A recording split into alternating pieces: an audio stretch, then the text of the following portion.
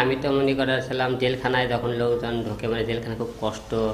জেলখানায় মনে করেন যে জেলখানায় নিয়ে যাচ্ছে, জেলখানায় যেমন পুলিশ মারে নাকি, অনেক লোকজন, অনেক ভয়, চিন্তা ভাবনার ভিতরে এটা থাকে।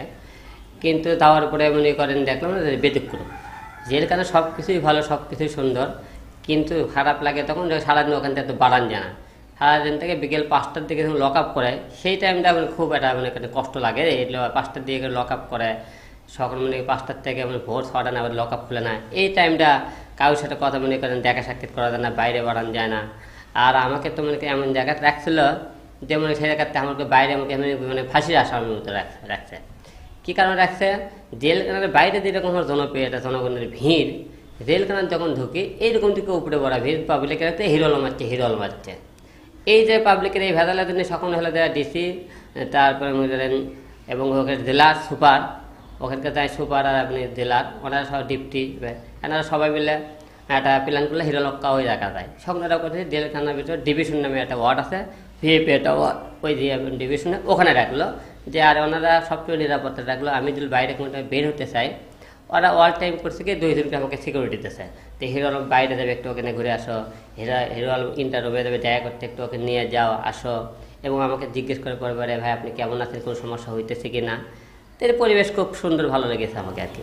এতদিন পরে আপনি জামিন পেলেন তার মানে কি আপনার স্ত্রীর সাথে যে গন্ডগোলটা ছিল যে কারণে আপনি জেলখানাতে আসছেন। মানে হাজতখানাতে আসছেন সেটা কি মিটে গেছে? হ্যাঁ এতদিন পরে জামিন পেলাম আমি তখন আমার স্ত্রীটা সবাই শুনেছেন আপনার আপনি সাক্ষী প্রবর্তন দিয়েছে আপনি যে আমি ভুল করে রাগ করে আর কি মামলাটা করেছিলাম মানুষের কথা শুনে। আপনারা সবাই জানেন স্বামী স্ত্রী বুঝে কি ভুল বোঝা হতে পারে। আর আমি আগেও বলতেছি এখনও একটা কথা বলতেছি আমি বলিনি যে আমি আমার স্ত্রীর গাও তুলে নিয়ে। আমি বলেছিলাম, আমার স্ত্রীর গাতে আমি দুটো থাপ্পড় মেরেছিলাম। আমি বলে, আগেও বলেছি এখন স্বীকার করতেছি। কিন্তু এই বিষয়টা যে, তাদের ফ্যামিলিগত যে, তারা ফ্যামিলিগত একটু রাজনীতির বিষয় গেছিল যে, এই মুহূর্তে ওরা ভোটের মধ্যে তাদের সাথে একটু একটা দ্বন্দ্ব ছিল আমার একটু না আর এই উপলক্ষ করাটা সুযোগ পেতাম আমার মনে গেছে আমার শ্বশুরেরা ওনারা আমার স্ত্রীকে আর কি বলছে মনে করেন, এই যে যখন তুমি হিরো কিছু বলতেছে না এই যখন এমপি হয়ে যাবে তোমাকে তোর দেখবে না? এই যে ধরো হলে সাথে চলাফেরা তুই কিন্তু যে কোনো টাইমে তোমার, তোমাকে সে অন্য জায়গায় চাইতে পারে। মানে এইরকম নানান রকম প্রশ্ন দিয়ে আমার স্ত্রীর মাথাটা ধুলাই করেছে ওরা। ধুলাইকে দেওয়ার পরে তারপর বলছে, তুমি একটা কাজ করবা, ওই দেশে হিরো আলম আলে এবার তুমি কবা তে ডিসেল লাইনটা তোর নামে লিখে দেয় লিখে দেয়। তো ফট করে ধরো, ওই কিছু করে, তখন তুমি কী করবা? এলে অনেক কিছু এমন ঢোলাই করছে যে বাসায় ঢাকা থেকে আসার দুই দিন পরেই দেখি মনে করেন আসা গন্ডগোল ঠিক আছে এইগুলো কথা আমি দুটো রাগ করে থাপ্পড়ের পরে পরে আসা দিন সকালবেলা আমি দেখেন দিন, দেখেন, অনেক সাংবাদিক গেছে, অনেক কিন্তু ওই জায়গায় গেছে। আমার স্ত্রীকে আমি দুইটা থাপ্পড় মারি পাঁচ থেকে রাত্রিবেলা। রাত্রিবেলা দুই থাপ্পড় মারার পরে মানে সেই দিন পাঁচ থেকে রাত গেল, ছয় তারিখ দিন গেল, ছয় তারিখের দিন রাত দশটার দিকে ওনারা মামলা করল। তা আমি যদি আমার স্ত্রীকে সেরকম গুরুত্বপূর্ণভাবে পিটাই তাহলে স্ত্রীকে সেই দিন রাতের বেলায় কিন্তু আপনি মেডিকেলে নিয়ে যাওয়ার কথা। তাহলে সেই দিন রাত থাকলে উনি ভালো পরে সারাদিন থাকল ভালো। রাত্রিবেলা ওর বাবারা আসে, কী মানে আসে? আমার সাথে কথাবার্তা দু একটা কিছু মানে গন্ডগোলটা মারধর শুরু। আমার সাথে কথাটা, আমার সাথে ভাই শ্বশুর, এরা আমার গাও হাত তুলো হাত তোলার পরে অকমনকে ধর করে ওখান থেকে উঠে নিয়ে দেয়, মামলা করে দিল। নিয়ে যাওয়ার পরে আপনি এবং থানার যখন মামলা করবে, থানার কিন্তু মামলাটা নেয় না অফিসাররা করতে না এটা বিষয়, সামান্য বিষয়, পারিবারিক বিষয়। আমরা আপনারা বসে আপোষ করে দিচ্ছি। আমাকে ফোন দিল থানা থেকে যে ভাই, ও আমি তো বগুড়া তেলে থানার যে কোনো সময় একবার হলে দেখা করে দেয় আর কি তো কত আলম, তুমি কই? তো এখন কোনো ভাই, আমি তো বাসায়। কত তোমার স্ত্রীর নামে মামলা করবে। আচ্ছা এই ঘটনা শুনলাম। তো তুমি একটা কাজ করো। তুমি একবার আসলে মামা হেলে দেয় সবাই মিলে আমি বসবো নি রাতের বেলা। তো রাতের বেলা সাতটার দিকে সময় তো সাতটার দিকে আমরা গেলাম। আমারও ইয়েরও আসলো সে বসার কথা। তারা বসল না। না বসে হঠাৎ করে করলে কি ওরা? তে আপনি মামলা করে ওখানে চলে আমি এখন থানায় বলতেছি কী ব্যাপার? ওরা হচ্ছে এতক্ষণ আপনি বসেন না কেন আপনারা? কোথায় দাঁড়ান বসবে একটু দাঁড়ান। ইনকে করতে করতে রাত দশটা যখন পার হয়ে গেল। আমার কথা আলম ভাই ওরা তো বসবে লয়। তে মামলা করতে চাইতেছে। তে আপনি কিছু মনে করেন না তে আপনাকে গ্রেপ্তার করা হলো এখানে। সে আপনি হলে যে আমি কোনো কিছুই করার নেই। আপনারা মনে করেন আপনাকে বিশ্বাস করে দেখে দেবে এই জায়গাতে আসে কিন্তু আমি আসলাম। না হলে কিন্তু আসতাম না। দুই নম্বর প্রশ্ন আমি তো ওখান থেকে তো ওরা আমাকে ওখানে কাস্টডি না করে, আমি কিন্তু আমার জেলখানা যাওয়া লাগে না। এটা পারিবারিক বিষয়, আমি তো সাত দিন ওরা কিন্তু আমাকে মতো আমাকে ওয়ারেন্টি সেই মামলা করে কেন ধরতে পারতো না? আমি সাত দিন এক মাস ওরা দুই এক মাস ওরা আমার কাছে দৌড়তে লাগতো হিরোনাম ধরতে। হলো? তাহলে আমি সাত দিন কি এক মাসের মধ্যে আমি পারিবারিক দিক ঘটনাটা ঘটে, আমি কিন্তু স্টে করলে কিন্তু ওটাকে মিটকুট করে পারতাম? জেলখানা আমার লাগে না। এখন এখন স্ত্রী পুত্র নিয়ে কি আপনি এক জায়গায় আছেন? এখন কি সব মীমাংসা হয়ে গেছে? হ্যাঁ মীমাংসা হয়ে গেছে বলে মনে করেন। আর দুই নম্বর করে কি? আমার স্ত্রী হয়তো কোনো ভুল করতে পারে, মানুষের কথা শুনে যে কোনো কারণে। আর আমি সেই ভুলটা তো করব না, যেহেতু আমার তিনটে সন্তান আছে। হ্যাঁ মানুষ অনেকে অনেক কিছু বলবে। আর আমার স্ত্রী যে কাজটা করছে, আমার তাকে অন্য কি হলে সেই স্ত্রী দেখলে আপনি কি ঘর সংসার করতো না। যে তোমার সাথে সামান্য বিষয় হলে সংসার বলতে অশান্তি হতেই পারে। তা তুমি কেন তার বিরুদ্ধে মামলা করলা? কেন তার হলে সম্মানের একটা আঘাত আনলা? এই প্রশ্নগুলো কিন্তু হাইকোর্টে কিন্তু বিচারপতি কিন্তু এই প্রশ্নগুলো আমার স্ত্রীকে এবং কিন্তু ইয়ে বলে শ্বশুর কিন্তু করেছিল। কেন আপনারা মামলা করলেন? কেন মামলাটা উঠাবেন? জজ কোর্টে বলেছিল। তো তখন ওনারা কিন্তু কোনো প্রশ্ন উত্তর দিতে পারেনি। বলছে ঠিক আছে বলে যে আমরা ভুল করে রাগ করে করছে। করছে আপনি ভুল করলেন। একটা সম্মানী ব্যক্তির হয়ে আপনি হট করে মামলা করলেন আর মামলা উঠাবেন। এই প্রশ্নকে তারা কোনো উত্তর দিতে পারেনি কিন্তু। এখন কি আপনার সঙ্গে আছে? আপনার জি। আপনার সঙ্গে? জি, জি। আচ্ছা। এখন যে সামনের দিনগুলো, দিনগুলোতে যে এতদিন গ্যাপ আপনার যে সামাজিক মিডিয়া আপনার সিনেমা আপনার এই জগৎ থেকে অনেকদিন গ্যাপে আছেন, এটা কীভাবে পূরণ করবেন? এর জন্য কি করছেন আপনি? হ্যাঁ অনেক গ্যাপ করেছে, যেহেতু প্রতি সপ্তাহে ভক্তদের আপনি গান, নাটক, অনেক উপহার দিয়েছিলাম এই গ্যাপটা আর দুর্ঘটনা তো কাউকে কয়ে আসে না, যেহেতু এটা দুর্ঘটনাটা আর এই গ্যাপটা পূরণ হয়ে যাবে যে ভক্তরা যেহেতু আমাদের, যাদের যে ভালোবাসা আমার মাঝে রয়েছে, এই ভালোবাসাটা ধরে রাখতে গেলে অবশ্যই আমি চিন্তা ভাবনা করি ভালো কিছু তাদের উপহার দিলে আবার ভক্তদের যে গ্যাপটা হয়েছে গ্যাপটা পূরণ হয়ে যাবে। এই যে আপনাকে নিয়ে যে একটা রিউমার্স ছড়াইছিল আর কি একটা মিথ্যা প্রভাগান্ডা ছড়াইছিল যে আপনি অন্য মেয়ের সাথে বেশি আসক্ত হয়ে গেছেন এই জন্য স্ত্রীর সাথে এই গন্ডগোলগুলো হচ্ছিল। এটা কতটুকু সত্য? এটা আপনি শোনেন আমরা যেহেতু মিডিয়াতে কাজ কাম করি যে অনেক মেয়ের সাথে মডেলদের সাথে অনেক নায়কের সাথে আমাদের কিন্তু রিলেশন আছে। কথাবার্তা সম্পর্ক ভালো তার সম্পর্ক গুড সম্পর্ক না করলে তার সাথে কাজ করা যায় না। আর মিডিয়াতে মনে কি এসব বলে কিন্তু আমার স্ত্রী শুরুর থেকে কিন্তু আমি অনেক জায়গায় বলেছি আমার স্ত্রী এই বিষয়ে কোনো কিছু, কোনো সন্দেহ করে না, কোনো কিছু করে না কিছু বলেনি হ্যাঁ কিন্তু সেদিনকে এত, আপনি দশ বছর পর আমার স্ত্রী এই বিষয়টা হলে মুখ খুললো। সেদিন আপনি কিন্তু একটা বিষয়কে এই বিষয়ে আগে আপনারা সময় টিভি কিন্তু এবং অন্য অন্য টিভি চ্যানেলকে একটা নিউজ করেছিলেন। যে হিরো আলম তার স্ত্রী, স্ত্রীকে দেখে না স্বল্পলের খবর নেয় না। একটা নিউজ কিন্তু হয়ে দেখেছিলেন এর আগে। কিন্তু তখন কিন্তু আপনি সময়টা পিবি থাকে, কিন্তু আমার স্ত্রী নিজেই কিন্তু একটা সাক্ষাৎ দিচ্ছিল যে যে না, এটা আপনি তারা ছিল মিথ্যে কথা। আমি ওনার ব্যবসাটা আমি নিজেই দেখাশোনা করি। উনি প্রতি সপ্তাহে আছে এই মাস, দুই মাস আগেকার ঘটনা। দুই মাস আগে কিন্তু ঘটনা এই ঘটনা নিজে আমার স্ত্রী কিন্তু বলছিল আপনার কিন্তু এই এরকম একটা ইয়ে দিছিল। দেওয়ার পরে, তো এখন হঠাৎ করে মনে করেন, সেই দিন মনে করেন এই কথাটা আপনি হঠাৎ করে দুই মাস পরে বললে এই কথাটা। তাহলে অবশ্যই ষড়যন্ত্র আছে। এবং উনি আরও দুইটা অভিযোগ করছেন আমি নাকি তার কাছে দুই লাখ টাকা যৌতুক দাবি করেছিলাম। তাই তার এক লক্ষ টাকা আছে এক লক্ষ টাকা দেন নাকি তো এই অভিযোগও করছিলাম শ্বশুরটা কিন্তু।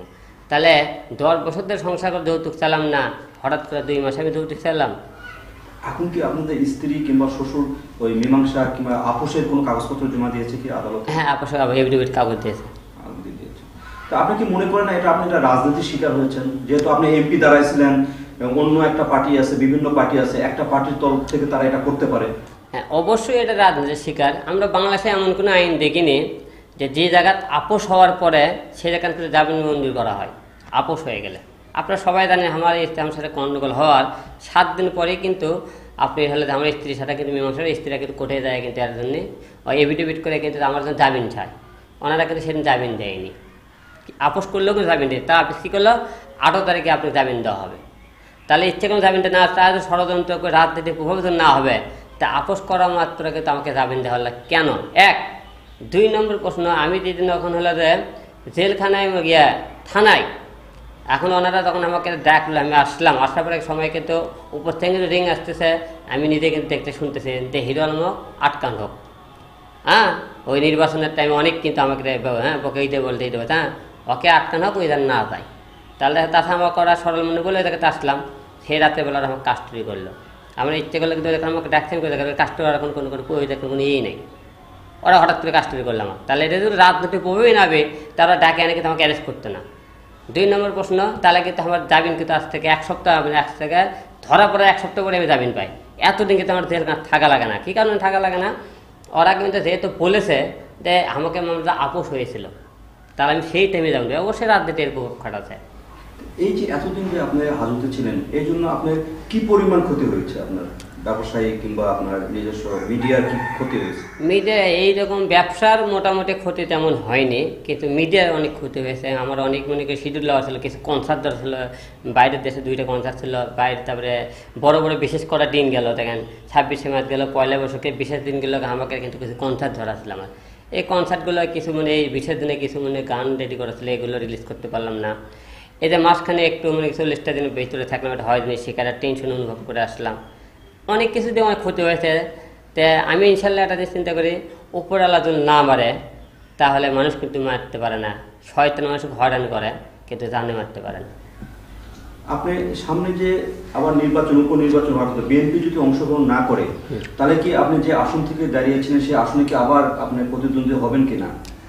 অবশ্যই যদি বিএনপি শপথ গ্রহণ না করে যদি উপনির্বাচন হয় তাহলে অবশ্যই আমি কিন্তু উপনির্বাচনে আবার অংশগ্রহণ করব এবার। সেটা কোন কোন দল থেকে? না এখন পর্যন্ত কোনো দল থাকে না যেহেতু স্বতন্ত্র প্রার্থী থেকে করছিলাম আবারও স্বতন্ত্র প্রার্থী থেকে করব। আচ্ছা এই যে আমরা জানতে পারলাম যে আপনার নাকি আইডি হ্যাক হয়েছে। এখন এই আইডি হ্যাক হলে যেমন ক্ষতি হতে পারে সেক্ষেত্রে আপনি কোনো পদক্ষেপ নেবেন কিনা? হ্যাঁ পদক্ষেপ আপনার কাছে দুঃখজনক একটা ঘটনা। যে আমি মনে করেন দেখার পরে যে আমার আইডিটা এবং পেজটা হিরো আলম নামের পেজ আর আশরাফুল হোসেনের যে আলম, এই দুইটাই মনে একবার হ্যাক করে নিয়ে নিয়ে দেওয়ার পরে যখন মনে আমি কালকে আসে দেখি আমার আইডিটা হ্যাক হয়ে আছে। আমি ঢুকে নিউজ আমি দেখি কেউ করে আইডি হ্যাক হঠাৎ করে বুঝলাম না। আইডিটা মনে করেন হ্যাক করছে এবং আমি বুঝলাম না যে এনারা একটার পরে একটা মানে কি আমার কাছে কেন লাগে আছে। আর জনগণকে এটা পরিষ্কার করে বুঝতে পেরেছে, হিরো আলম রাজনীতি শিখে। তাছাড়া হিরো অনেকের পিছনে এত মনে করে না, হিরো এত লোক থাকতে আমার বিরুদ্ধে এত সব লাগে, ষড়যন্ত্র মানে বুঝতেই পারতেছেন। আমার আইডি হ্যাক করল, এই জামিন হল জামিন হইতেছে না। এই যে দেখেন হিরো আলম কোনো কিছু করলে, মনে তাদের মাথা ব্যথা হিরো আলম কিটো করো উটো করো। কিন্তু কেউ কিন্তু এখন পর্যন্ত হরেন করতে পারেনি, কিছু করতে পারেনি। একটু আমরা মান সম্মানে একটা আঘাত করার চেষ্টা করেছিল, কিন্তু যখন আমার মানে কেন এই মামলা সরে মিথ্যে প্রমাণিত হয়েছে। তখন আর অবশ্যই লোকজন বুঝতে পারছে এটা। হিরো আলম অবশ্যই রাজনীতি শিকার এবং ষড়যন্ত্রের শিকার এই বিষয়টা নিয়ে। আপনি শ্রোতা ভক্তদের জন্য আপনার শেষ কথাটা কি? আর ভক্তদের একটা কথা বলতে চাই। আপনারা গুজবে কোনো কান দেবেন না। আর সত্য অল্টাইমে সত্য পূরণিত হয়। আর আমি হিরো হলাম আপনাদের আজকে ভালোবাসার কাছে কারণে জিরো থেকে হিরো। এই হিরোটা নিয়ে আপনাদের ভালোবাসা নিয়ে বাকি জীবনটাও কাটাতে চাই এবং আপনারা যেভাবে আমাকে অল টাইম সাপোর্ট দিয়েছেন বাকি সময়গুলো সাপোর্ট দেবেন আমি যতদিন বাঁচবো আপনাদের কাজ নিয়ে সবাইকে নিয়ে সত্য করে কাজ করতে চাই এবং আপনাদেরকে অবশ্যই বিনোদন দিয়ে বাকি জীবনটা কাটাতে চাই। ধন্যবাদ দীর্ঘ সময় আমাদের সঙ্গে কথা বলার জন্য বগুড়া সময় টিভি বগুড়া অফিসে আসার জন্য আপনাকে অনেক অনেক ধন্যবাদ। মানে অসংখ্য ধন্যবাদ আপনাদের কিছু মিডিয়াতে আপনাদের অবদান আছে বলে আজকে হিরো আলম আজকে এত দূর। কিছু মিডিয়া আমাকে অত্যন্ত সাপোর্ট দেয় যে হিরো আলমের যে কোনো বিষয়গুলো নিয়ে তারপরে আমাকে এত দেয় মানুষ মিডিয়া একজন ইচ্ছে করলে জিরো করতে পারে মিডিয়া কিন্তু একজন হিরো করতে পারে। তাই মিডিয়ার প্রতি আগে থেকে আমার শ্রদ্ধা ছিল, এখনও আছে বাকি জীবন। আমি আপনাদের এই ভালোবাসার কাছে চিরকৃতজ্ঞ এবং সময় টিভিকে অসংখ্য ধন্যবাদ।